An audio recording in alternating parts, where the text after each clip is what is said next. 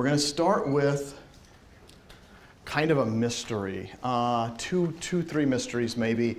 And uh, what I'd like to do today, and what we're going to cover in here today, is talking about uh, who psychologists are.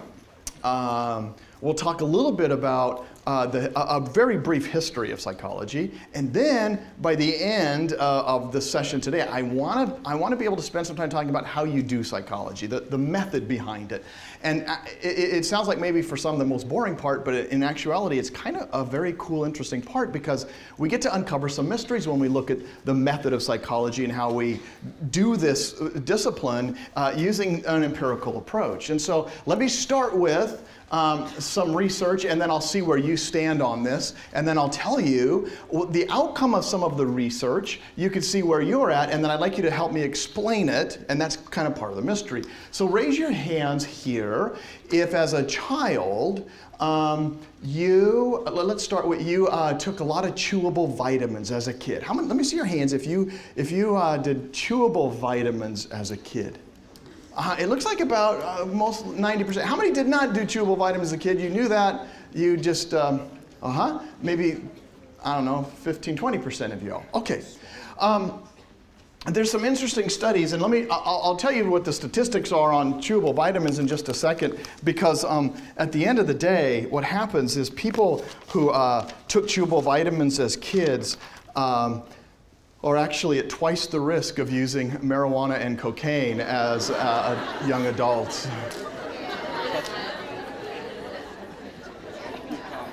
Uh, you, you, in essence, have doubled your risk of uh, using cocaine and marijuana as old adults. So, and by the way, a very good, well study. Uh, we're going to talk about the study itself. So, let me see again if you did chewable vitamins so everybody else can see who you are. All right, good. All right. Now let me, okay, here's another one. How many, if you had to, you could only pick one of these. As a kid, you might have eaten oatmeal and you might have eaten frosted flakes. But let me just say, if you had to select and only say, if you gave me a chance or what I, the majority of the time I would eat this versus that, okay? Some of you say 50-50, then don't, don't play along. But if you went, oh no, it, it, most likely I ate frosted flakes more than oatmeal. So let me see, if you ate frosted flakes more than oatmeal, uh-huh. Wow. And then if you ate oatmeal more than frosted flakes, well, the, the other half of the room, we got a 50-50.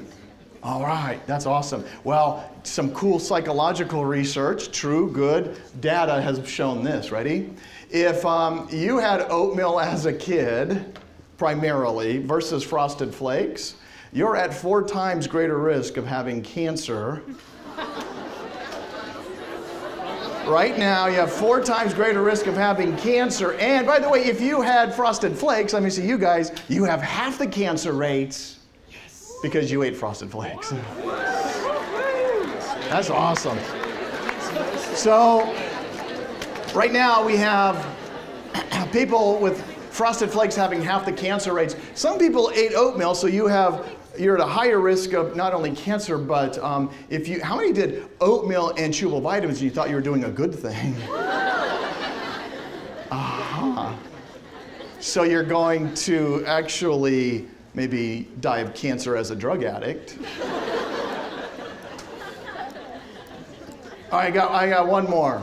And, um, and, it, it, and it's also kind of but by the way, there's good. This is this isn't bad research. In fact, it's very good research. It allows me, if you tell me, oh yeah, I had oatmeal and I took chewable vitamin, I could predict some things about your life.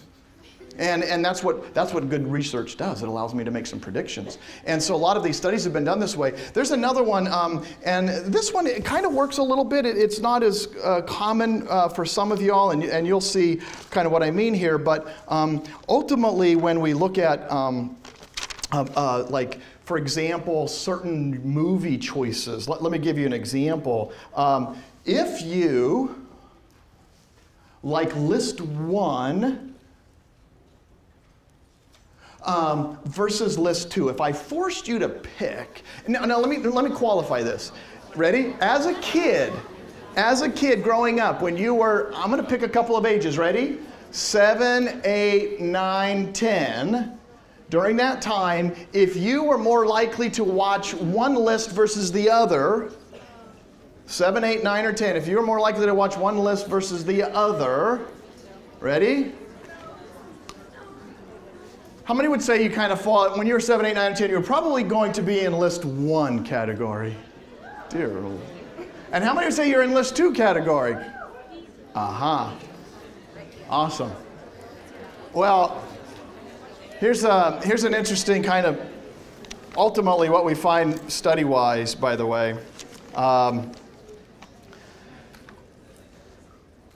list one people um, and, and, and have some other problems. list one problem. List one people um, are uh, usually um, struggling with things uh, in, in another way. Ready? They not only tend to use the harder drugs at a higher rate uh, than list two people. We've now elevated, I mean harder drugs, they are way more involved in drug usage than people actually that were in uh, list two. They also, ready? They also tend to have a greater likelihood of having sex outside of marriage.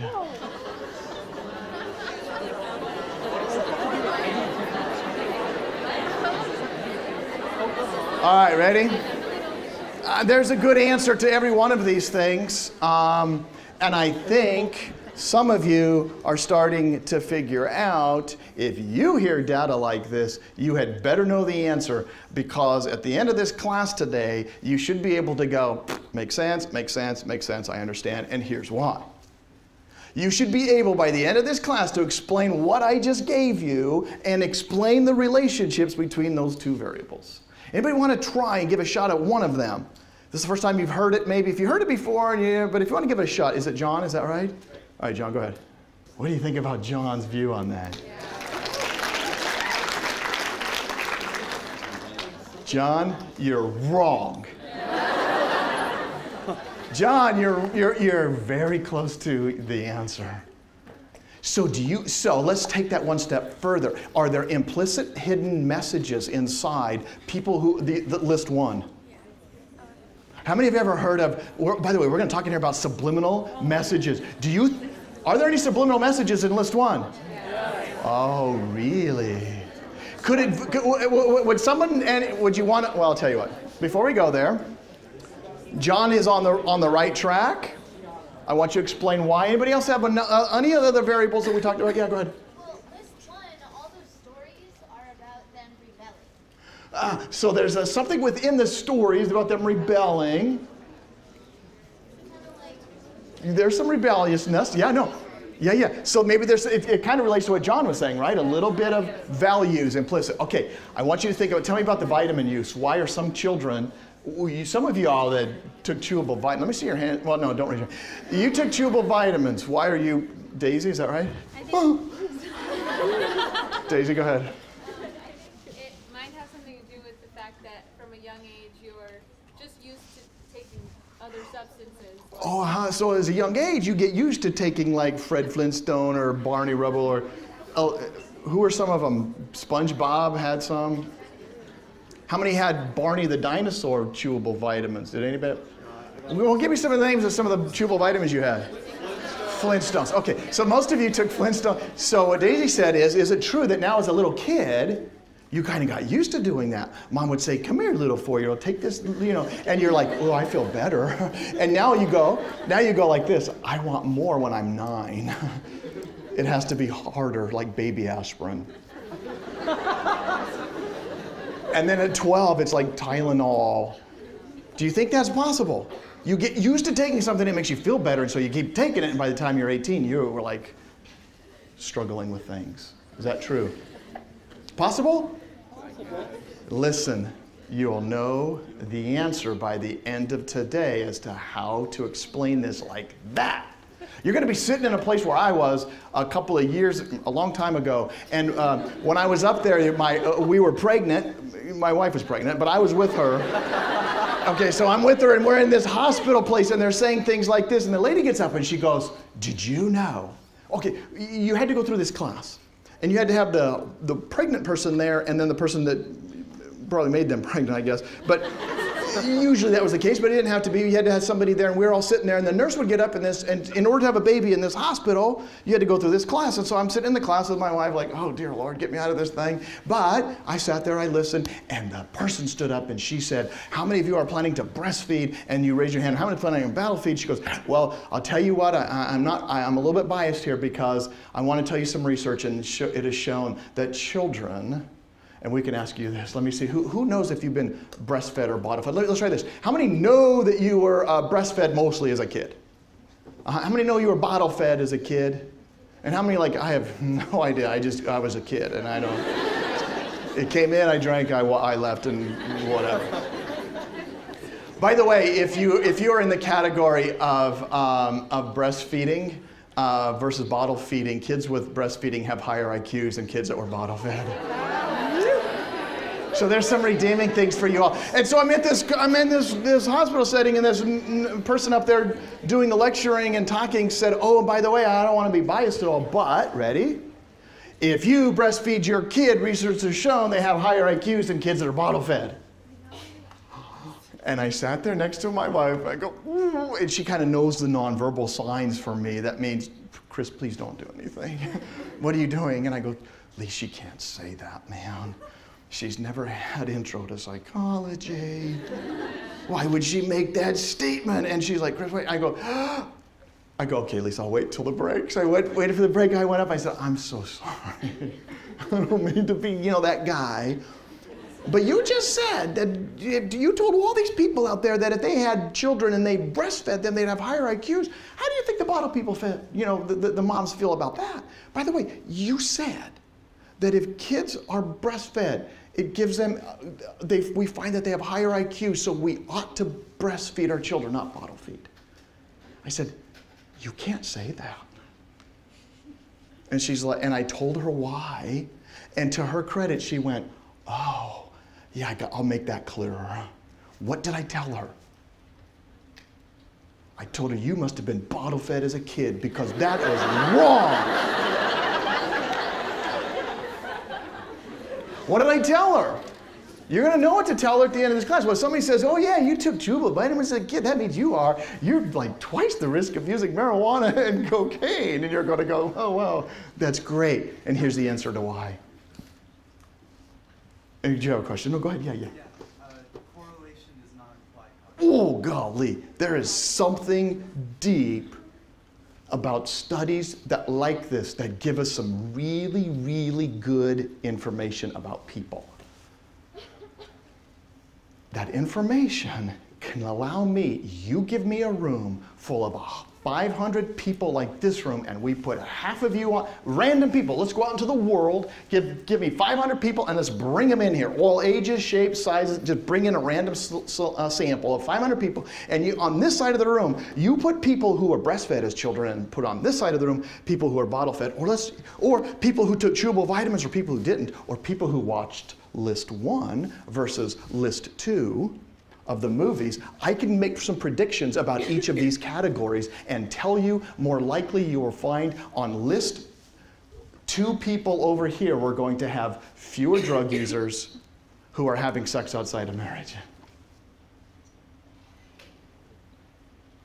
I can predict that. They're going to be sitting here. If, I, if you gave me the oatmeal group versus the frosted flake group, I know the frosted flake groups, if I took all of their cancer rates, they're going to have less cancer than the people with the oatmeal. Do you see why? Are you starting to figure out why? Are you saying, just tell us why? Well, I can't yet. Because here's what I will do though you have to know something about psychology and who psychologists are, and you have to know something about the history of psychology, and then at the very end, by the time we get to the end of today, you're to have to know something about the science, and it's a very quick, simple, I think, answer, like I told the lady, and like she got up, by the way, and announced it at this thing, meeting, uh, whatever, class on pregnancy and delivery and whatever, and, and did a great job of explaining it. So, who are psychologists? Well, give me. In, in the popular media or press, give me, raise, a, raise your hand if you know somebody that's a psychologist or that maybe is out there that you know of. Yeah. Go ahead. Oh, just, oh, you know, so give me a specific name of somebody out there in the popular media or press that is a psychologist that you know of or heard of. Dr. Phil. How many no, Dr. Phil as like the guy? Okay, give me another one that you know of or think of when you think of a, who? Dr. Daniel Amen. Oh, Dr. Daniel. Oh, yeah, I guess it's a good one. Dr. Daniel, I don't know if a lot of people know who that is. give me one that everybody, give me another one. A psychologist out there that you think of when I th- tell you. Dr. Laura. Ooh, good one. Dr. Phil, Dr. Laura.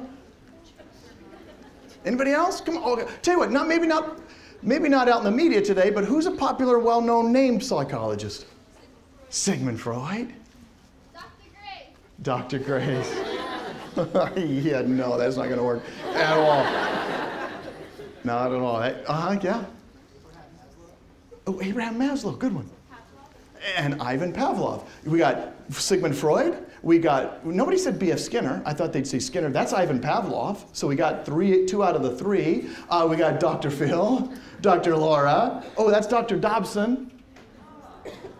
Kind of. Some of you knew that. Oh, nobody mentioned the VeggieTale guy. What's up with that? I mean, he's the guy that loves his lips, or he's helping the guy that loves his lips. How many know that one? See? All right. Well, you got to be thinking about these things. So, who are they? Ready? Um, I'm going to keep this really short. Psychologists, in general, are those that have a master's and a PhD. Um, if you want, uh, it's simple to, to think of that as somebody who's done a dissertation or doctoral level work, whether it's a PhD or even a PsyD. A PsyD is a little bit more professionally oriented. They don't have to necessarily do a dissertation. They, they might do a doctoral paper, but um, this, is, this is who can be called a psychologist. You can't just call yourself a psychologist because you, you, are interested in humans and you, you know, whatever. You do have to get a PhD or a PsyD to be called a psychologist. It took me about, I don't know, it took me almost five years after I got my undergraduate degree, uh, about two and a half to get the master's and about two and a half to get the PhD. Here at Rosemead, for example, at Biola University, we give we offer uh, both a PhD and a PsyD in psychology, and um, um, so, uh, but it's in clinical psych, and uh, we'll talk a little bit about that. Um, so that's the education and training. Now, by the way, um, there are other people who are in the, involved in the field of psychology who don't necessarily have a PhD. To, in order to uh, accomplish a PhD, for, uh, for example, in clinical, you do have to do an internship. That's a year long. So that's another year, usually, that's added on if you're going to go into something called clinical or counseling psychology. How many know somebody that's in clinical or counseling psychology or has a degree in that? Great. They're probably a practicing psychologist. We'll talk some about what that means, but they, did, they certainly have done a, a, a year long internship, and they can do that in a lot of places. We have a lot of in Southern California, but almost anywhere you go, you'll find homes, you'll find clinics, you'll find hospitals, places where people do an internship. But the Biola Counseling Center would be a great example. Somebody could come here, do an internship here, or in other places uh, at universities, for example. Psychiatrists, uh, how many know a psychiatrist? How are they different than a psychologist? Oh, they're, they're medical doctors and they can prescribe medicine. That's it. They got an MD. They didn't get a PhD. They got a medical doctor. They're a psychiatrist, and they can prescribe medication. I have also prescribed my own medication, though. Most psychologists can't. I did. You guys want to know how? Maybe you don't really care, but I'll tell you the story anyway. One time I go to this doctor, and um, I see him and I have, I have a messed up back. I was playing baseball one time and really got my herniated some discs in my lower back. A bit, it kept bugging me. One time I went to this doctor and he goes, oh, okay, try this out. It'll help you. And it was like a Friday or a Thursday, I forget. I took it. He, he said, see if that'll help the pain a little bit. And um, I called him Friday, like, I don't know, five o'clock. And I said, I said to him, I said, hey, uh, yeah, this is, you know, I told my name and I said, you gave me this prescription to see if it worked or if it hurt my stomach or anything. It worked great and I'd like to go ahead and have that as you know my prescription. And he goes, okay. Um, he goes, well, I'm getting ready to leave. How about, are you near a fax machine? I went, yeah, sure. So he goes, I'll just fax you the prescription. I went, oh, that'd be great. That way I have something this weekend. So he faxed it. I, I got the fax. Uh, I took it over to like one of the drugstores and I and uh, I handed it to the lady and she goes, oh, we can't take a fax prescription. I went, oh, why? He, he said on the phone you could. She goes, well, that, we can't take a fax. Ah. And so I was like, well, what, uh, okay, is there anything I do? She goes, no, put your name on this and your phone number. I'll call you in the morning. I'll call the doctor in the morning and we'll, we'll get you set up. I'm like, all right, fine, whatever. Um, so um, it was like about, I don't know, 8.30 in the morning and I get this phone call and it goes like this. And it says, uh, yeah, I'm calling about the prescription for whatever it was uh, for uh, Chris Grace. I said, uh-huh. And it's for, um, let's say it was Vicodin, blah, blah, blah, at this amount. And I went, uh-huh. And you're a doctor, right? I went, uh-huh, I am. And then I, she goes, okay, thanks. I hung up. I thought, why would she care if I'm a doctor or not? I'm just getting a prescription. And then I went, oh, I wrote my number on the fact. She thinks I'm the doctor. So she calls back a few minutes later. Yeah, hi, this is the pharmacy. Um, uh, your prescription. And I went, oh, okay, yeah, sure, I'm ready.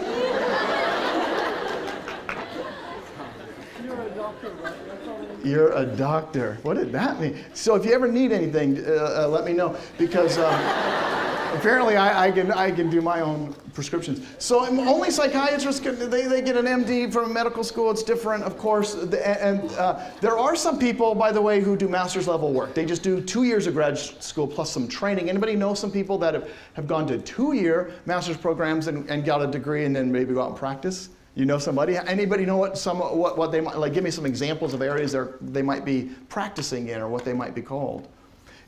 Anybody see somebody who is an an MFCC? How many have heard of that before? Marriage, family, and child counselor, or a master's in social work is kind of they're, they're just different ways. Marriage and family therapy, or um, some of those individuals would still be kind of in the fold of psychology, uh, but practicing maybe at a master's level. All right.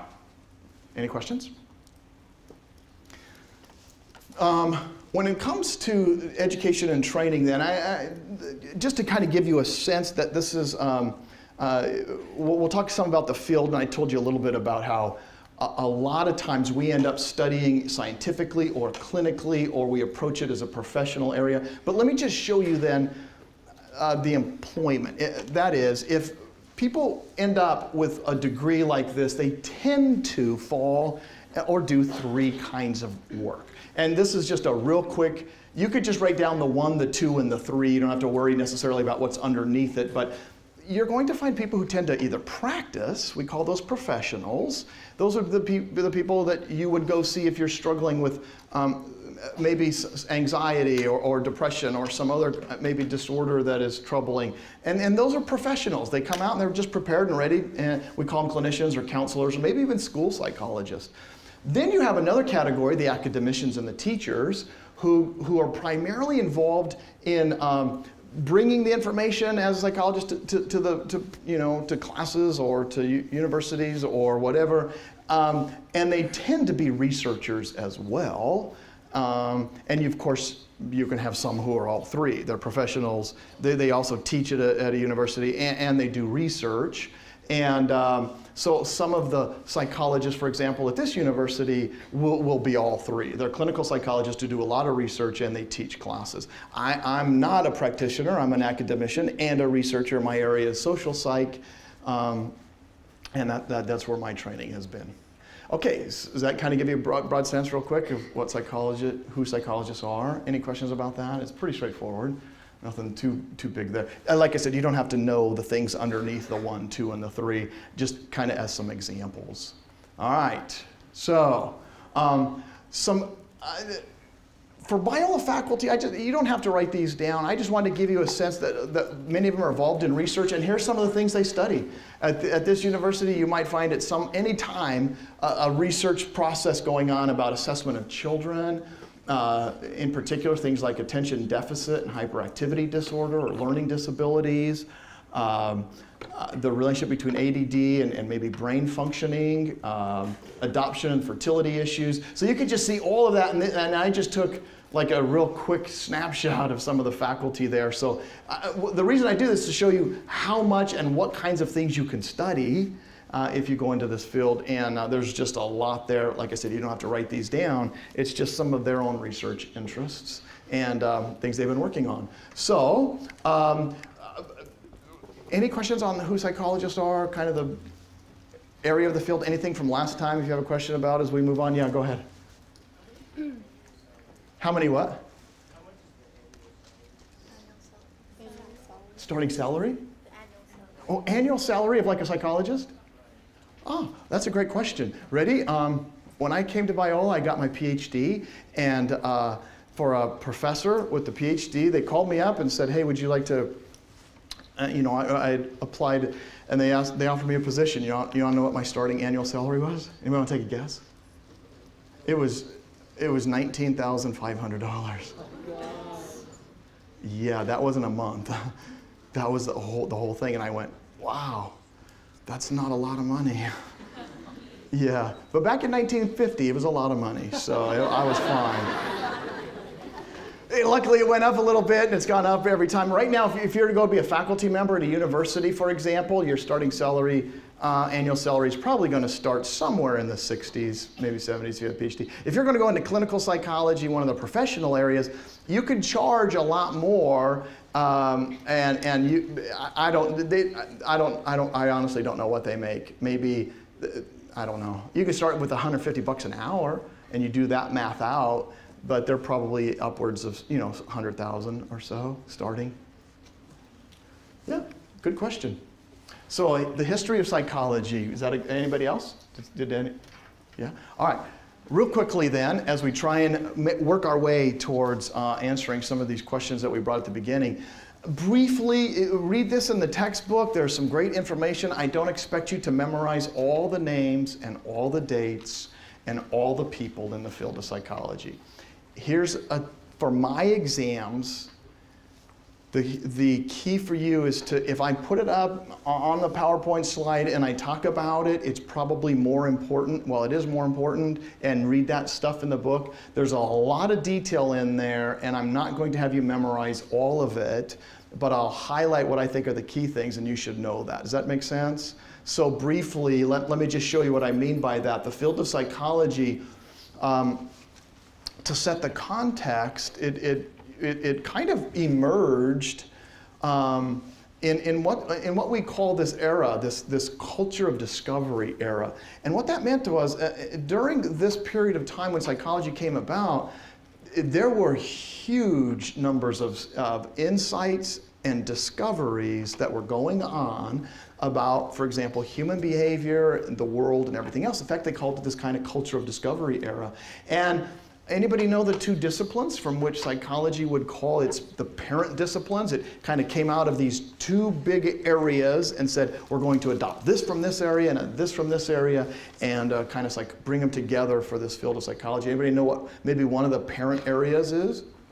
Yeah, philosophy would be one of the big ones, and and uh, philosophy. The philosophy at the time was a very robust uh, discipline. It had been around for almost a thousand years, it, it, if not longer. Uh, and so, but this idea of uh, philosophy, the, the idea of thinking, kind of like about thinking, if you want, um, and primarily what philosophy contributed to psychology was this kind of idea that well we could explore this. We could know. We, they had kind of well we should be able to study humans. And there's a, a particular way an attitude an approach they went about. Give me another what uh, might be another of the parent disciplines of psychology besides philosophy. What was the other big era out big area out there or discipline? And yeah biology or medicine. And they kind of contributed, if you want that discipline, to this, the idea of using a methodology, a systematic study. And so that was the method that we use in psychology was given to, let's say, the field by biology and medicine, and then um, philosophy provided the attitude. Um, so, so how we explore human thinking and behavior, and that it is knowable and it's interesting and anybody know when we credit the first person and who it was with bringing these kind of two fields together and starting its own study? In fact, what he did is he, he studied humans by asking them how they responded or how they felt when they heard a noise or a sound or saw a color he would ask them in a laboratory, okay, I'm going to make a noise, ready? And he would play some sound, let's say it was on a, a, musical instrument, and he would just sit there. I want you to describe for me what happens when you hear this. And then he would just say, describe your sensations if it makes you sneeze or if it, if it does other things to you and so he would start asking people and exploring using kind of this systematic approach to figure out what was going on in here. Anybody know who, who that was that did those early studies like that? And we credit and we say, that's the founder or father of psychology. Oh, that's a good one. It's not it. He, he, he did studies like that. Give me another one. What's that? Yeah, um, there were, and we don't credit him with being the founder. Good guess.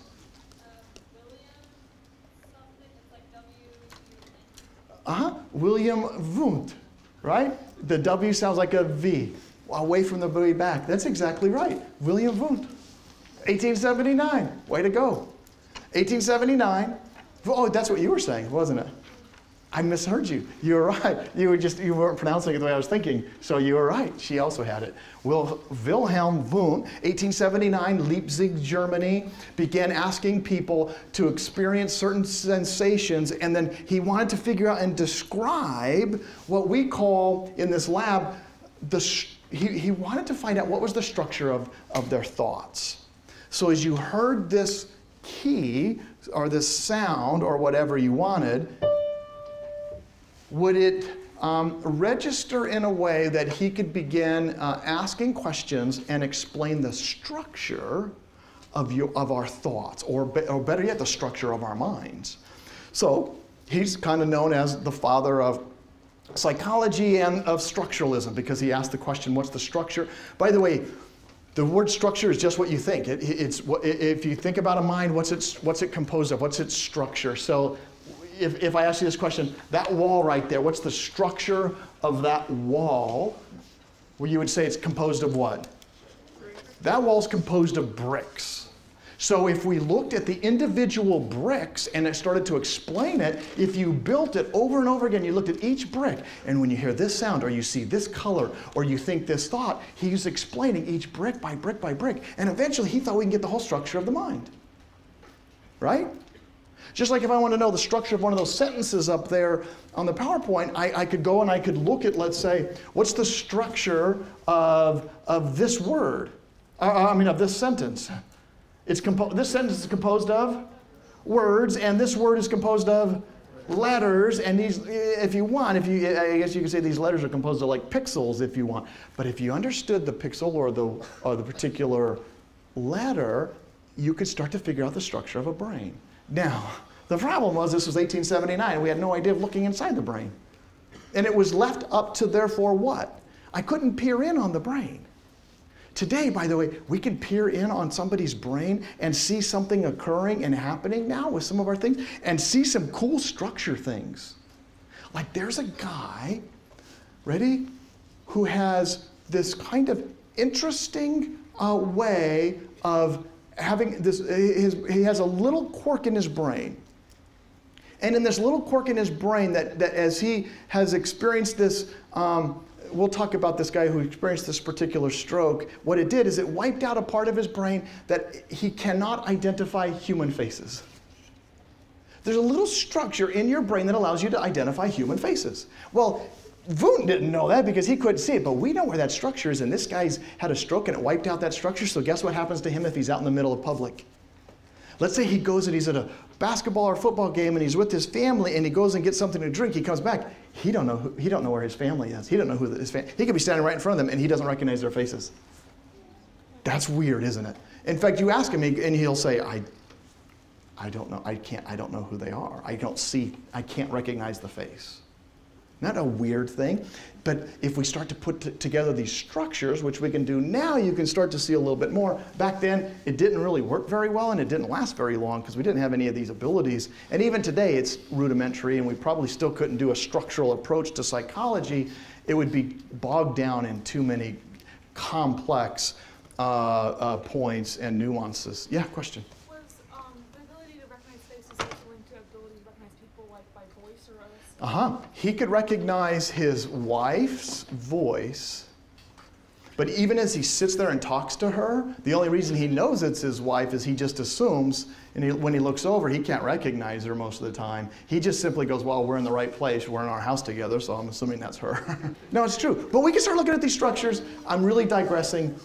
Uh, we, we, we, that was structuralism. Wundt, he wanted to see structures. We, we can see them a little bit clearer today. By the way, here's uh, kind of a timeline. You don't have to know all these names. I'm just showing you people that were involved, like Stanley Hall and uh, you know Hermann Ebbinghaus and James. It was around the turn of the century, of the last century, 1880s. Another real quick thing. Ready?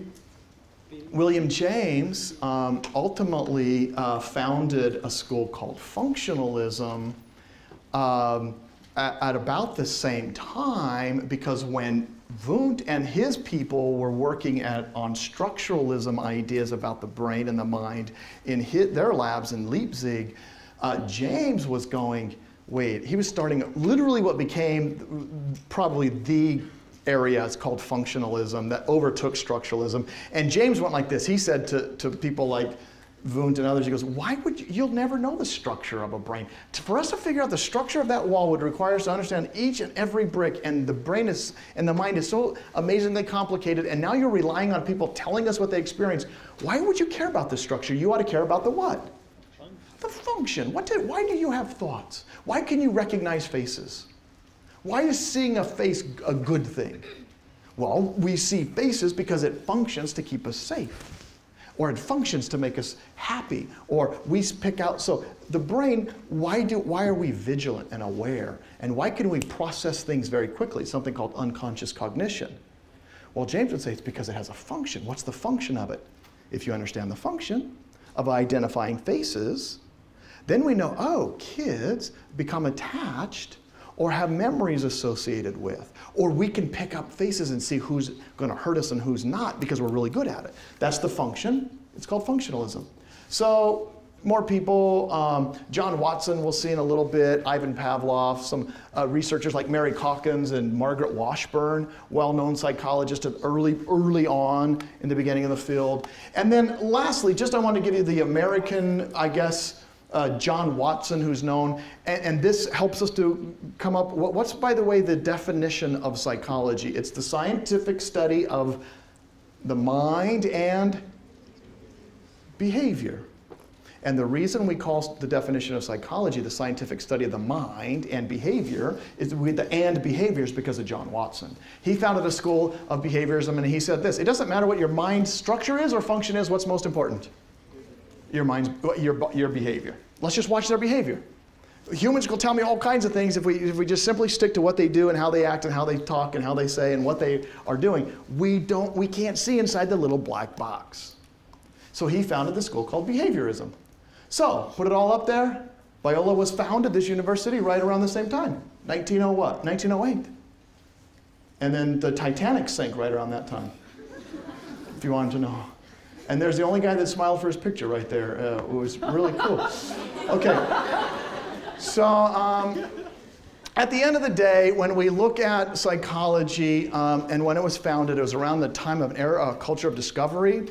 It was also during a time uh, when you look at the relationship between Christianity and science, a lot of um, the Christians that were uh, kind of involved in the early scientific discovery eras were not contributing to this field of psychology around the turn of that century because it's at that time kind of this isolationist period where Christians were kind of stepping out of the intellectual culture. Many of them were founding schools um, that were, let's say, more uh, biblical or Bible institutes. And uh, because a lot of the, the, the universities had given up any hope whatsoever of being founded on, on Christian principles, and so a lot of uh, the Christian intellectuals just kind of stepped out of that culture. And that's kind of where psychology kind of started developing and coming in to its prominence was during this kind of interesting cultural era. You don't have to know that. It's just a kind of interesting insight. Any questions on this? All right, that was just a really quick history. Biola University offers a variety of biblically centered degree programs, ranging from business to ministry to the arts and sciences. Visit biola.edu to find out how Biola could make a difference in your life.